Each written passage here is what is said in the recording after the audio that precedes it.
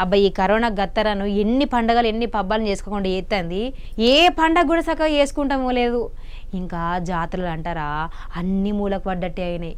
ఇక సమ్మక్క సారక్క జాతర మీద కూడా సర్కారు ఇంకా ఏం చెప్పలేదు. మరి కొలనూరు జాతర అవుతుందా లేదా?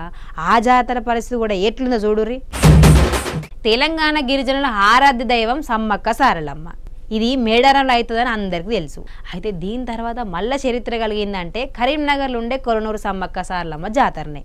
ఇక్కడ తల్లి పంతొమ్మిది వందల డెబ్బై ఆరులో స్వయం గెలిచిందని మస్తు మంది నమ్ముతారు. ఇక ఈ జాతర కూడా మేరం జాతరకు వచ్చినట్టే మహారాష్ట్ర ఛత్తీస్గఢ్కి నుంచి మస్తు మంది భక్తులు వస్తారు. అంటే మన మేడారం జాతర తర్వాత చెప్పుకోదగ్గ జాతర మళ్ళీ కొలనూరు కానీ ఇప్పటికీ ఈ జాతర కట చైర్మన్ను మళ్ళీ ఈఓని నియమించలేదట. అంతనే కాదు ఏలం పాట కూడా వేయలేదట అసలు కొలనూరు జాతర అయిద్దా కాదా అనేది కూడా అనుమానంగానే ఉందట. కొల్లూరు జాతర తర్వాత ఎలిసిన సమ్మక్క సార్లమ్మ జాతరకు ఏలం పాటలు ఈయోలను పెట్టి ఏలం పాటలు వాడిర్రు అసలు కొల్లూరు జాతర దేవాదాయ శాఖ అధీనంలో కూడా ఉందా లేదా అనేది కూడా డౌట్ లెక్కనే కొడుతుందట కొంతమందికి. అయితే దేవాదాయ శాఖ అధికారులు జాతరను దృష్టిలో పెట్టుకొని ఏలం పాటలు ఏర్పాటు చేసి మంచిగా చేయాలి జాతరనని ఆ ఊరోళ్ళందరూ కోరుకుంటారు.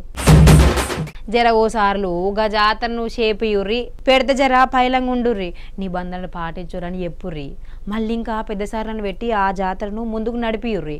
ఎందుకంటారా మన తెలంగాణ ఎంతన్న మంది దేవుళ్ళకు మంచి మంచి జాతరలకు నిలయం. ఎంతన్న మంది ఆ తరిడికి జర మన తెలంగాణ గొప్పతనం కూడా నాలుగు దిక్కులకు వాగుతుంది కదా అని అంటారు.